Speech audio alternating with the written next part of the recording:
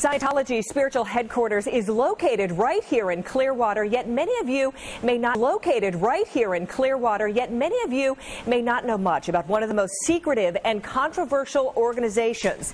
Now, a third generation Scientologist who was born into it, and she is also the niece of the Church of Scientology's worldwide leader. She is speaking out in a bombshell book called Beyond Belief, My Secret Life Inside Scientology and My Harrowing Escape. Jenna Miscavige Hill joins us now. Thanks for being with us. And your parents were high ranking members, and you spent most of your life as part of the church's inner circle. Why did you decide to write this book now? Well, I actually, I first left in 2008 and I, I did speak out um, about the church then, but you know, the book is really a good way to get the, the whole story out there.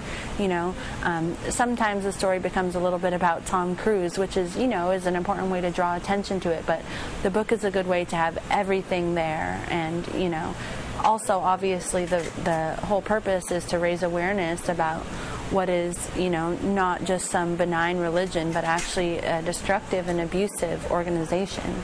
And tell us a little bit about that. I know in the book you spent a lot of time talking about how you really didn't see your parents much growing up, and and you spent a lot of time at a Scientology boarding school. Tell us about that. Yeah, I mean, I think that that is one of the most destructive aspects of the church is its treatment of children and family. Um, and yes, when I was six, I was um, sent to what's called the ranch, which was for children of executives of the church's most dedicated order, called the Sea Org. And um, we were basically only allowed to see our parents once a week for a few hours on Sunday morning.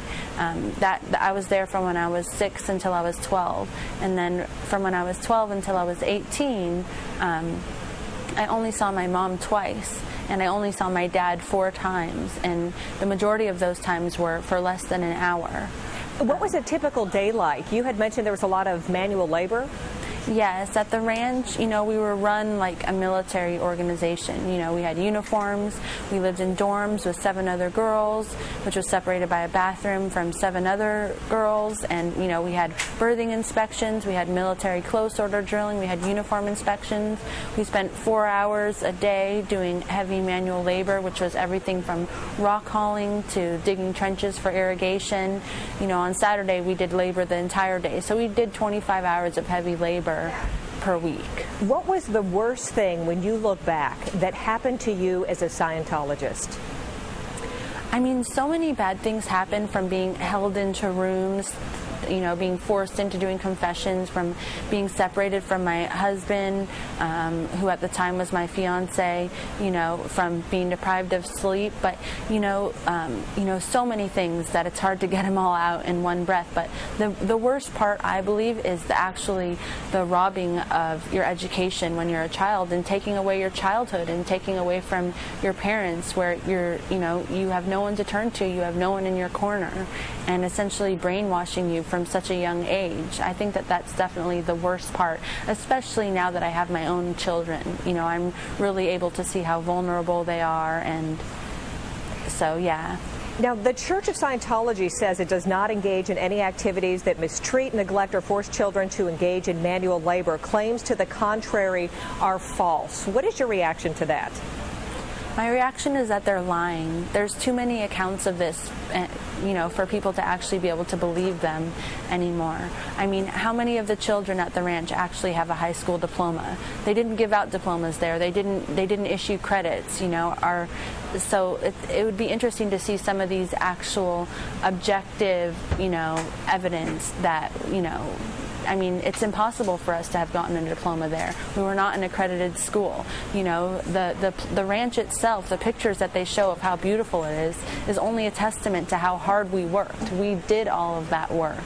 And so, yeah, I mean, they're lying.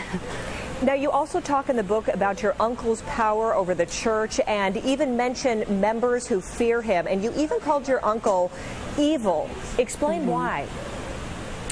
I mean, he's the head of this organization, which basically, you know, is responsible for everything from child neglect and abuse to separating people from their families to you know, having people who work there like 100 hour weeks and get little to no time off. And it's supposed to, it, you know, when I was young and, you know, I thought it was about helping people. And, you know, I thought, you know, maybe we have to make some sacrifices in that name. But there's so many things that are imposed on its members and so many sacrifices that are so pointless. They're not helping anybody. And so it's almost, it's just, it's just about control and power at this point. What would you want to say to your uncle or ask him if you had a chance to see him again? I mean, unfortunately, like I don't really have anything to say to him. I know that he's aware of the damage that he's done to me in my life and other people who are there. I mean, I would be interested to know if he even believes in Scientology anymore or if it's just about about the power, but I mean, I doubt that he would be forthcoming with me anyways, so and, and, you spent a lot of time here in Clearwater at the headquarter, worldwide headquarter location. Tell me what typically happens here and share yeah. some of your memories. Um, well, I went to Florida when I was, uh, I lived in Clearwater from when I was 12 um, until I was 16. And um, I was a Sea Org member, so we worked, you know, 14-hour days, um, and you know, we were only occasionally allowed to have a day off every other week if we were doing good at our jobs. Um, but um, for years at a time, that would often be canceled. And you know, we frequently got half pay or even no pay. Full pay is only forty-five dollars. Um, you know, I was not. I was told that I was forbidden to call my parents. I was not allowed to go back to California. Um, when I was about to. I was told that I could not go back and be with my parents and my brother. Um, I was actually physically restrained from doing that. And I mean, we only went to school once a week when we were there. So that, that's what's happening there. Yeah, it doesn't sound like the best memories. You know, there may be some Scientologists who are watching this interview and probably upset that you are attacking their beliefs. What would you say to them?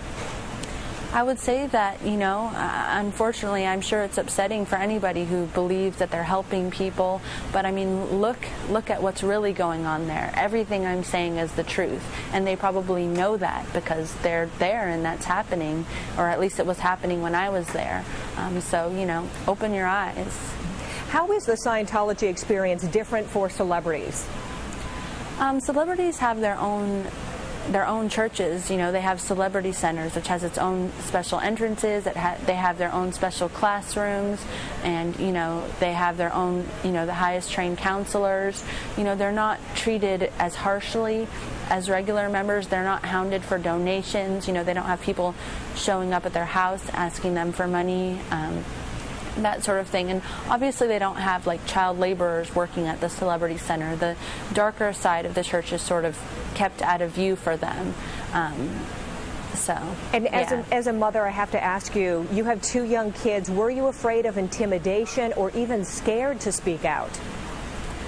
I mean, I've been speaking out since 2008, and I think that, you know, at that point I had to decide that I was no longer going to be intimidated by them. And I think that there's a certain, like, the more out there you are, the less likely something bad is going to happen to you because everybody knows, you know, everybody would, that would be their first suspicion. So, you know, to that degree, no, I'm not. You know, I mean, we were followed by uh, for a month by PIs, uh, private investigators, in 2008 when we first spoke out. But I think that they know now to sort of leave us alone because we're gonna we're gonna let people know if anything happens. What has helped you heal from this experience? Counseling, or did you actually look to another religion for help? Um, no, I mean it's mostly been talking about it. You know, I mean there's several websites out there.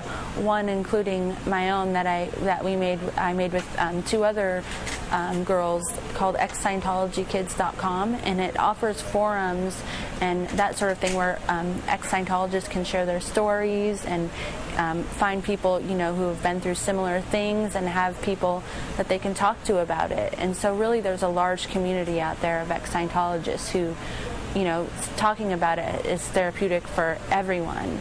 And you know, another thing that's actually been really therapeutic for me is having my own kids. Like, you know, being able to experience childhood again through them. You know, yeah, it just having kids always makes the world a more magical place when you see everything, you know, through their eyes. Mm-hmm. And does it make you upset as well to, to think that that was taken away from you? Have you, I guess, reconnected with your parents?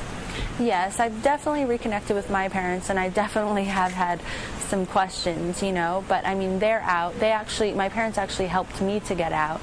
And, you know, right now, you know, unfortunately, you can't change the past, but, you know, they can't apologize, and now we're, we're moving on. They're amazing grandparents to my kids. And so that, that's all I can hope for. So, yeah, we have a good relationship now. And last question anything else that you want to say to our Tampa Bay viewers just about the Scientology headquarters being located here or Scientology in general? Um, I mean, just don't get lured into it, you know, or, you know, if you're interested, find out about it, you know, and if you notice anything bad going on or that looks shady, then please report it because somebody might be really thankful to you, you know, in many years for doing so. Jenna Miscavige Hill, thank you so much for joining us. Best of luck to you. Thank you. Now, you can read the Church of Scientology's response and see a website that Jenna created for ex Scientology kids on WTSP.com.